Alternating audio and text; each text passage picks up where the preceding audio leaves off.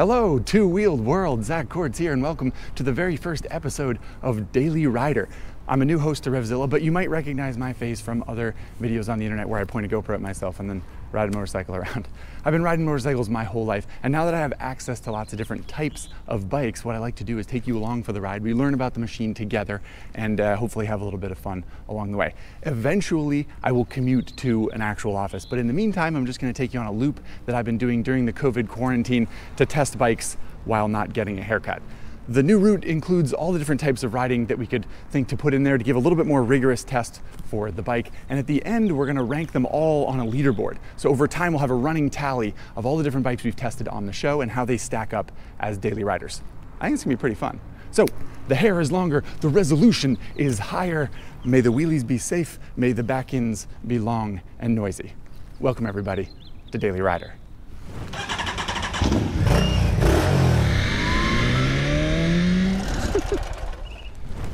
Okay, without further ado, time to introduce our first guest here on Daily Rider, and that is, of course, none other than the Kawasaki Versys 650 LT.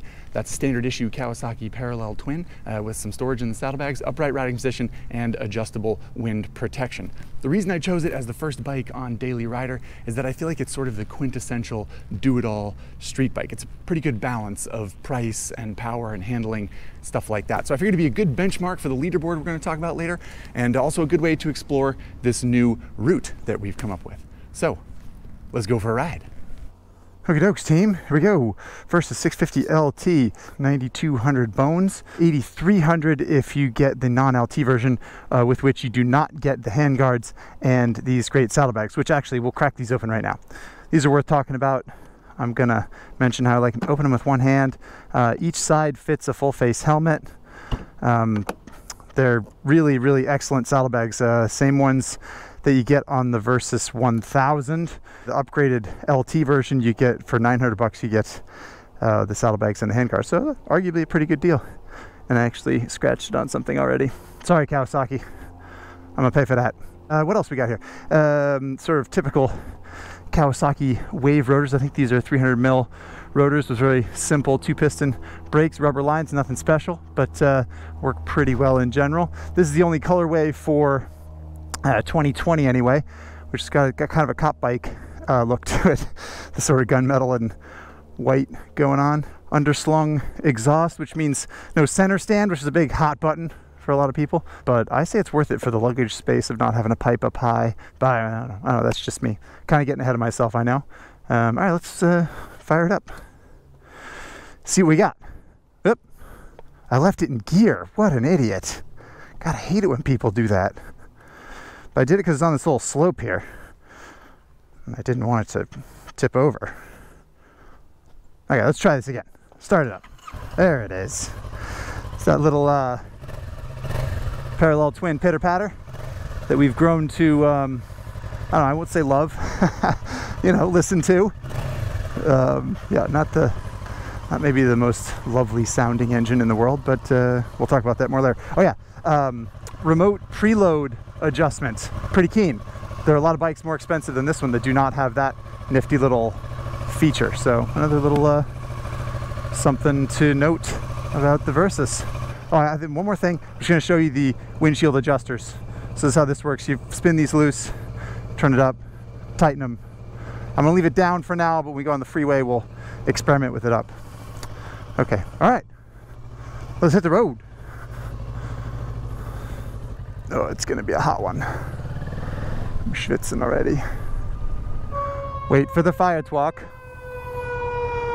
As you do. Good job, guys. I caught up to the fire truck and now it feels a little awkward. I don't really know. He's gonna go through this red light. You're supposed to be 500 feet back, right? Yeah, he's going through the red light. Which means we can talk about some specs. You've got uh, a 33.1 inch seat height, which um, uh, at this stoplight, I have to say, that measurement always seems high to me. It feels like lower than 33 inches seems like a high seat, um, but the Versys 650 always feels kind of reasonable to me. It's got a pretty narrow standover height, but yeah, that's, you know, that's the measurement that we're going with. And it weighs about four, I think they claim 476, Kawasaki does, but the last time I weighed a Versys 650 LT myself, it was basically 500 pounds right on the nose with a full tank of gas. And um, so 500 pounds is kind of a lot, you're thinking maybe, but that is uh, 500 pounds with a full tank. And the full tank is five and a half gallons of gasoline, which is a lot of gasoline for a motorcycle to carry. So it is, uh, you know, maybe fair that it weighs a little bit more than you might expect. Horsepower wise, you can claim maybe 68 or 70 from this bike. Um, but the last time I saw one of these motors on a dyno, it was 62, 65, something like that. It's an amount of horsepower that's both enough and not notable, frankly. uh, but that's a quick rundown of specs, the old Versys 650. Oh, there's, there's where the fire was. Oh, senior living home. That's no fun. So all the specs aside, one thing the Versys 650 does pretty darn well is be comfortable. It's just a very reasonable riding position. Um, as we will experiment here, we go out onto the freeway for a minute. That's the first experiment on this route, is to hit the old straight and narrow. But yeah, back to riding position. The handlebar has a nice position to it. It's sort of a, a upright but sporty reach to the handlebar. It's very, yeah, very comfortable. The seat is a little soft for my taste, but in general, very comfortable. Um, and the distance to the foot pegs, I feel like the pegs could maybe be a little bit lower, but that's not really, you know, that big a deal. Um, I'm just at six foot two. Sometimes I get a little bit, uh, I, I get like a little bit cramped after a while sitting on this bike, but a 33 inch seat height, you can kind of understand why they wanted the seat to be a little bit higher. But anyway, in general, quite a comfortable bike. And I guess since we're about to go out onto the freeway, we have a minute, you're not supposed to adjust these while you're riding, but I'm just gonna do it real quick so that we can talk about wind protection. Okie dokie, as we merge out onto the meat grinder that is the 710 freeway here in Southern California. That's another reason that I find the Versys 650 quite a comfortable bike. Uh, it's good in traffic, right? You sit upright, you can move your head around and uh, you know swivel, keep your keep your eye out for cagers on a mission.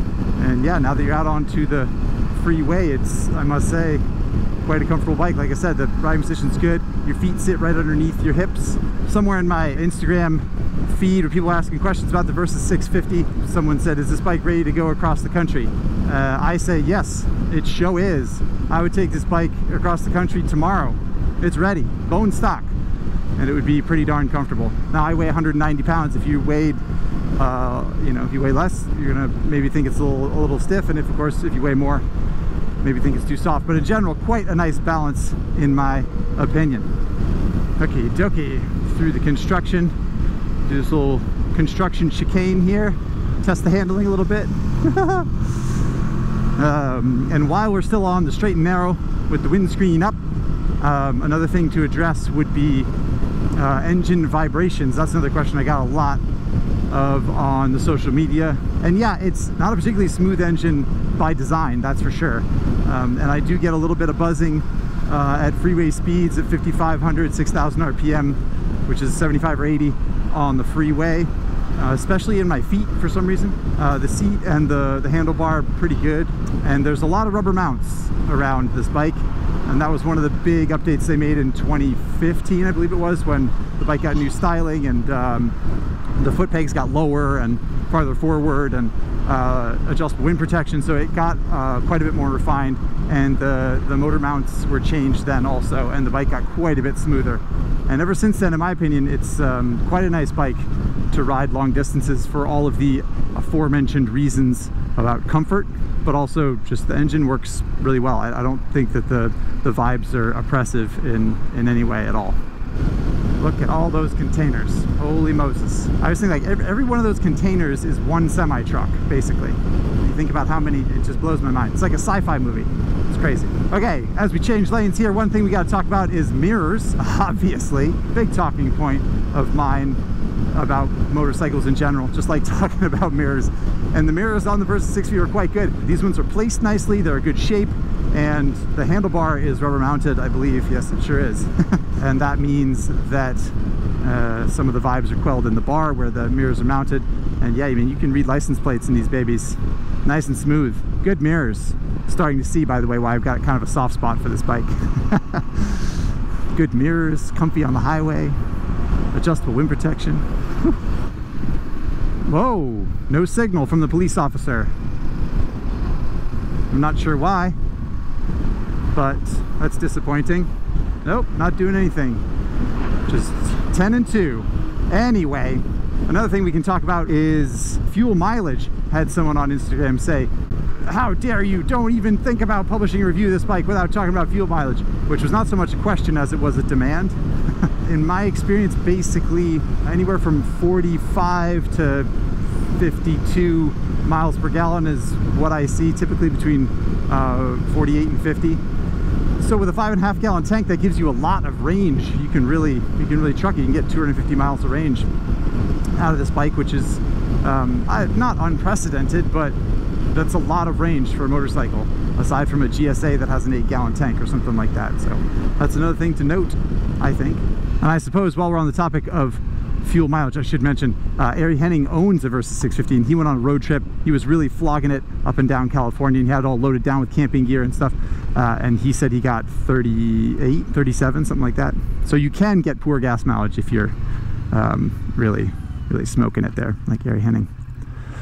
But in general I would say 50 45 50 something like that so this little section of road I've come to know as Clutch Hill because there's a whole slew of stop signs right in a row and I find myself testing a clutch feel and throttle response along this section. What I like to try to do as a little uh, competition with myself, oftentimes the stop signs, roll up to the stop sign, come to a complete stop, and then go without putting a foot down.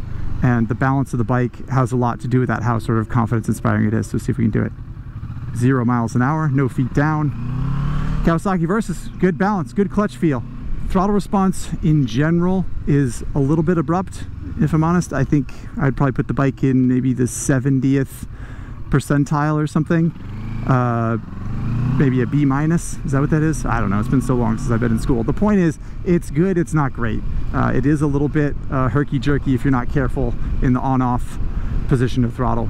But uh, I sort of adapt to it after, I don't know, a few hours of riding. And um, in general, I don't think it's too bad. But it is a sticking point for some people. I guess while we're at this stoplight, we can talk about the dash. Why not?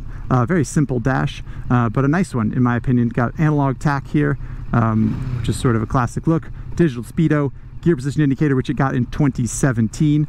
Fuel gauge at the bottom, clock upper left, and then here are your options showing trip meters, live MPG, uh, and range, which is a nice feature. So I got 40 miles of range left. We're down to the last bar here. It might start flashing at me. Lots of range on this bike, so I'm not too worried about it. Anyway, nice clean dash, nothing fancy, but uh, does the trick, you know? Kind of like this bike. For some reason, this stretch of road always makes me think about like date night going on. I don't know. This is where maybe maybe my wife and I had a really good conversation along the stretch of road or something one time. But the point is, now's a good time to talk about passenger comfort, as good a time as any, I'd say. Passenger accommodations on the Versys 650 are quite good. The director of our show, Spencer, owns a Versys 650 and so does Ari, so spent a little bit of time back there myself, but um, I usually let my wife do the reviewing of passenger accommodations and she says that the Versys 650 is quite good. Nice soft seat, um, she feels secure back there, she feels comfortable, um, and she's five foot 10 and has terrible knees. So she's a good judge of passenger comfort in my opinion. Um, as always, she loves it when there's a top box on there too. It gives her a little backrest. That's a little added bonus if you do that with the Versys. Um, but in general, quite good passenger accommodations. Okie doke, so this little stretch of twisty road here is not exactly Stelvio Pass or anything, but I feel like it offers a good snapshot of a bike's handling and uh, you know how it handles not just going through turns but um, uh, slightly bumpy roads. And there's some tar snakes up here that kind of thing. But yeah it's a nice little stretch road a little bit uphill a little bit downhill. And this to me is where the Versys is the most surprising. It is a versatile system right? That's where the name Versys came from versatile system. So I think people mostly apply that to yeah you can ride it down the highway you can ride it in a city you can ride it kind of in a few different scenarios and that's what makes it a versatile system but not necessarily a sport bike. But the Versys 650 is quite a good little sport bike in my opinion actually. It has really enjoyable character and it has sort of uh, you know sport bike roots to a certain extent in so much as the Ninja 650 is a sport bike I suppose. The Ninja 650 while we're on the topic I feel like uh, on a, on the street like on a twisty road like this as fast as I would be willing to ride a Ninja 650 I would ride a Versys 650 uh, there's no advantage on a twisty road in my mind. Come to think of it, I might go so far as to say that I could ride a Versys 650 around a racetrack as quickly as I could a Ninja 650. Ah, is that true? I don't know if that's true. Probably not. I bet the Ninja's a little bit faster. The, the riding position is a little bit sportier and it is lighter. Um, so yeah, I suppose the Ninja would be a little bit faster, like in an outright lap time showdown. But the point is, yeah, it's uh, the Versys is uh, it's pretty good. I don't know. Now I'm curious. I want to do that test. I don't know, I guess comment below if you want me to do that test and I'll try to make it happen. Coming up to a red light here. So we can talk about brakes. Mash on these brakes a little bit, get into the ABS. um, sort of medium-sized rotors and um, kind of old school calipers, not wildly powerful, but uh, they do the job. I think the, the power and feel is decent considering the hardware is not particularly interesting. So another piece of the Versys 650 that I think strikes a pretty good balance for sort of value and, uh, and cost.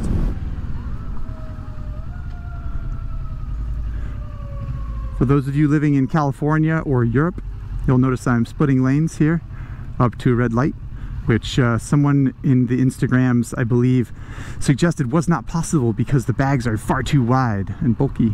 But I disagree because I mean the, the bar is already kind of wide. I don't think the saddlebag is really much wider than that. You do have to be a little bit careful, but uh, in general, very capable of uh, still being agile in traffic. Ooh, little power wheelie away from the stoplight. Oh, right Versys 650. Look at you, rowdy little sucker. And that actually brings up a good point. We should talk about the engine a little bit because I, I, mentioned in the intro that I don't think the engine is the most, what did I say? Not the best sounding engine in the world. But um, there's really no denying that the Versys 650 engine is is fun. It's a it's very playful and um, energetic. You know, it sort of wants to rev and it feels like it wants to to, to accelerate and, and sort of play. It's sort of a puppy dog of an engine. Um, and I appreciate that aspect of it, considering um, I'm not necessarily a huge fan of the of the layout of the engine in general. We got sitting over there, we got an R3 over at uh, Tacos El Goloso, another 180 crank parallel twin. Another bike that I don't like the sound of very much. But another fun motorcycle, so, you know, I don't know, no denying it. Away we go! this is pretty, pretty good engine. People want to know how this bike compares to the Tracer 900, and I think that the Tracer 900 engine, that Yamaha triple 847cc triple is just an absolute gem. It is one of the best engines in motorcycling. It's really, really excellent, and it is better than the Versys 650 engine, full stop, in my opinion. However, I do think the Versys is uh, just sort of a, a, better machine overall. I think the wind protection is uh, better as standard. I think the seat's more comfortable. I like the riding position a little bit better. I think the chassis is a little bit more direct and uh, easy to use, uh, and it's cheaper. Then you got your old V-Strom 650 that's another one that people like to compare versus 2. The V-Strom 650 is a good one, but the base bike is more expensive than the base Versys by about 500 bucks. And while I like a V-twin better than a parallel twin in general, the V-Strom is just, uh, it's kind of, it's kind of lopey and I don't know. It's just kind of like the AARP version of the Versys. it's just kind of like slow and deliberate and calm in a way that makes me a little bit sleepy in general. Whereas the Versys is like, zing zing, I want to play, I want to go do stuff, which I like.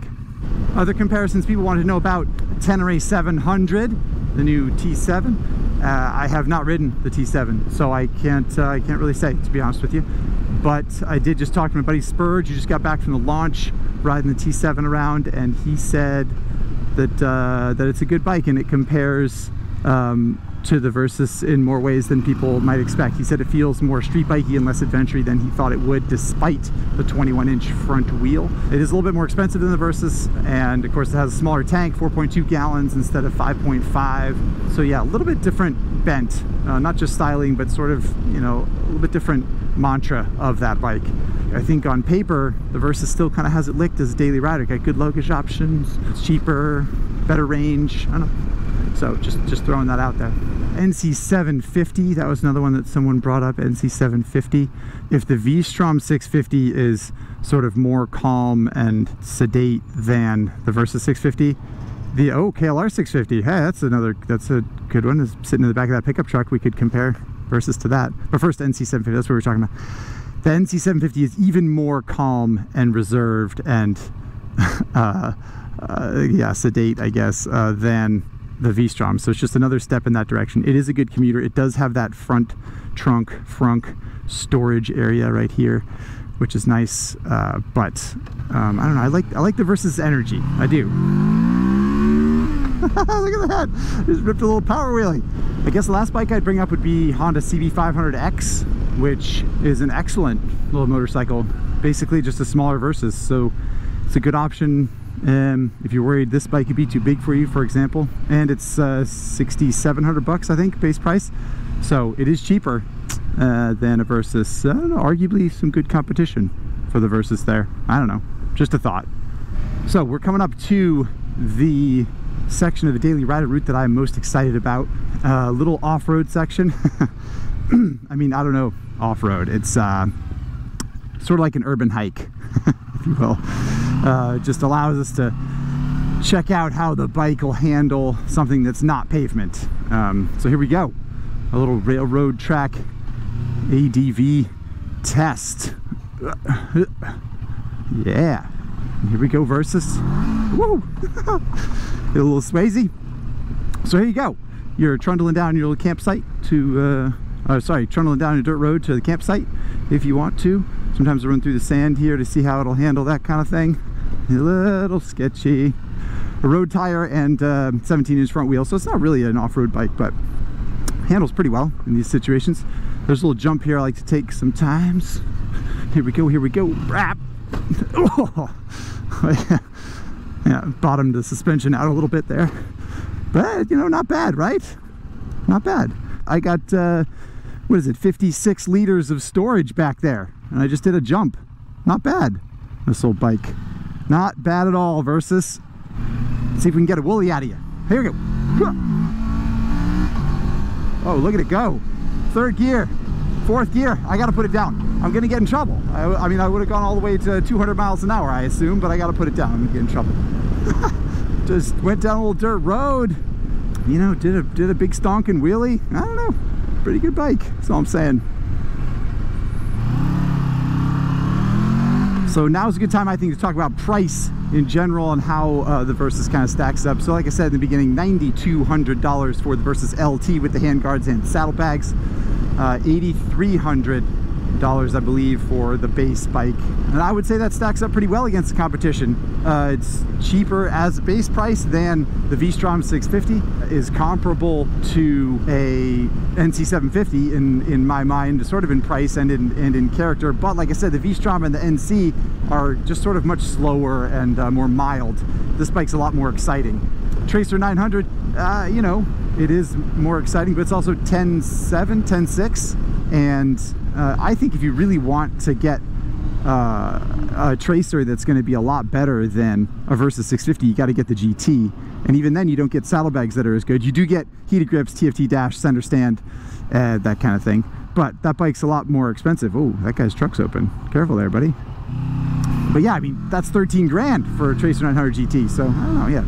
And then yeah, Tenere 700, which I think has potential to, to steal a little bit of market share from the Versys just because it is kind of rugged. I do think it looks cooler. Um, but yeah, you don't get as much range um, and uh, luggage options as far as I know are not quite as good. Yeah, I don't know. All in all, a little hard to argue with the, the Versys 650, I think. This is why it's the why it's the first guest on Daily Rider. Okay, so we just gotta zip down the freeway and we'll be just about home. Can we get a can we get a third gear wheelie out of the Versys? oh, uh, not really. okay, so second gear wheelie was good. Third gear wheelie not so much. Just got to merge onto this here 405 and we'll be back to the hood. Exit the freeway. I like this little set of corners actually. Fast right. A little downshift into a left. Yeah. We even caught the green light. How about that? Good stuff. Must be our lucky day riding that Versys 650. We try and get a little back in here, dump the clutch. Yeah, right. A little bit. it's ABS a little bit. Uh, Versys 650 does have ABS that you can't shut off. But here we are, back to back to the little alley parking lot here. Line it up. Can listen to this Versys 650 one more time. There it is. The sound of performance, sort of. the sound of just the right amount of performance, if you ask me. Um, but yeah, there you have it. Versys 650. Yeah, that was a pretty successful uh, ride, I think. Um, so, and we're going to answer some Instagram questions that I saved because I feel like um, a lot of people commented and had interesting questions to ask. Once known as Coach, I like that username a lot, asks, How would this fare as a weekend tour? Excellent, I think. Uh, hopefully, we covered that in the video as to why I think that's the case. But yes, weekend tour, absolutely. Ride Fast Die Old asks, would you take it cross country? Yeah, I feel like we covered that also. Um, but absolutely, it's ready right now as it sits, bone stock, showroom condition. B Cox 24 asks, base Versys 1000 or Versys 650 and save some money. In my mind, the Versys 1000 is unquestionably uh, sort of bigger, higher performance, um, has more features. You know, it has more stuff, but I just don't know that it actually serves the purpose of being a versatile system better than the Versys 650 and the full Zoot one the the LTSE or whatever it is with the electronic suspensions 18 grand I mean it's double the price of Versys 650 so I just I never find myself recommending a Versys 1000 unless there's a really specific reason that people want uh, the bigger chassis more weight more power or, or the more features but in general Versys 650 just checks the list I think VL Florian asks, why not just get a Tracer 900 that will do commuting just as well as the Versys, but will also be more fun on weekends ride, weekend rides, excuse me. Uh, you know, if the, if the, power and that kind of thing uh, is really going to make that big a difference, then yeah, I think um, that would be a good option for you. Like I said, I think that this bike kind of has the Tracer licked from a comfort standpoint, um, from a versatility standpoint, and uh, from a feature standpoint, with the base bike anyway. So that's my take. Hunter Hates Jiu-Jitsu asks, is this too much bike for a beginner?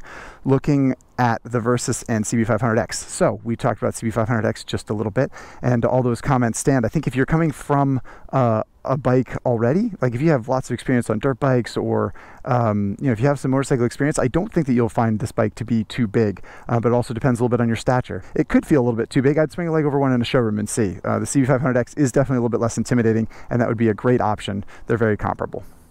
Sim Bar asks, would this be a bike that someone who is six foot six could fit on? Uh, yeah, I think you'd be fine. You might want a slightly thicker, taller seat and maybe a bigger windscreen um, to cover up your torso. But in general, very comfortable bike, and I bet you'd like it. Again, I'd uh, try and find one on a showroom floor, swing a leg over one, and give it a try. But I bet you'd find it works out just well, just for well just just works out for well, great. Ignacio SMP says the first generation Versys was 35 kilograms or 77 pounds lighter than this one. Where's all that weight, and why should someone buy this one instead of buying an older model? I don't know exactly about the 77 pounds. I'd have to fact check that, but it is heavier, um, and I think uh, it just comes from refinement. It just um, got those uh, you know better motor mounts. The the wind protection got more complete. Um, it it just it got to be a little bit more advanced and feature laden motorcycle, which makes it a little bit heavier. It carries more gas, so um, that's part of it. But I would say uh, that it got quite a bit better. Is there a reason not to buy an older one? No, absolutely not. The older ones are also great. So that's something that you should consider for sure. Last question comes from Petizo1. Uh, longtime viewer of my videos. Nice to see your username, Petizo. Is it too useful or is it still fun? And I think this is a good one to end on because I like the way that question was phrased is it so practical that it's no longer enjoyable to ride? And another person had a similar question that I saved. For me, it does deliver what you need from a sport bike uh, as far as canyon roads and as far as acceleration. It's fun, it's peppy, it's got a lot of good energy, um, and it carves through corners really, really nicely. If you can get past the sort of pocket protector practicality of it, I think it does deliver a good amount of fun, and you will find yourself wanting to go on weekend rides, that kind of thing. Um, but you know, there are some people that just wouldn't be able to live with it. You know, they like they need to have a sport bike or they need to have a naked. They need to have something less practical, just because it sort of bubbles with that uh, energy that you get from something that you need. Uh, sorry, something that you want but don't need. So thank you so much for your Instagram questions. That was great. I really appreciate you asking all that stuff. Um, last thing we got to do is rank this sucker on the leaderboard. So let's go into headquarters. And here we are. Daily Rider headquarters, um, aka the room attached to my garage. but anyway, here it is the Daily Rider leaderboard. I'll take you for a quick tour of it. It's not terribly complicated, if I'm honest. So you got a basic uh, price chart here, you know, expensive at the top, cheap at the bottom. And then over here you got dorky, and then at the other end of the x-axis you got cool. And then up here you have the Daily Rider leaderboard. This is where the bikes will be ranked in order of best and worst daily rider. I foresee a fair amount of controversy with your friends, my Revzilla colleagues, everyone. I think everyone's gonna have their own opinion. I think it's gonna be fun, is the point. And as I talked about in the ride, the Versys 650 is a pretty good balance of a lot of things, right? It's not particularly expensive or cheap. It's not particularly dorky or cool, in my opinion. So one of the reasons I chose it is that I think it goes basically right here, smack in the middle of the chart. So we're gonna drop that little green magnet there for what I hope are obvious reasons. And then we're gonna write Kawasaki Versys 650. There you have it. First bike on the chart, smack dab in the middle. Um, and then I made a little magnet for it here. So it will ride right up here uh, at the very top of the Daily Rider leaderboard because it is uh, the best and worst bike that we've ridden so far. So there you have it, a new route, a new leaderboard. I'll get a haircut eventually, but I hope you had fun. I hope you learned something. The wheelies were safe after all. Um, and I'll see you on the next daily ride. Peace out.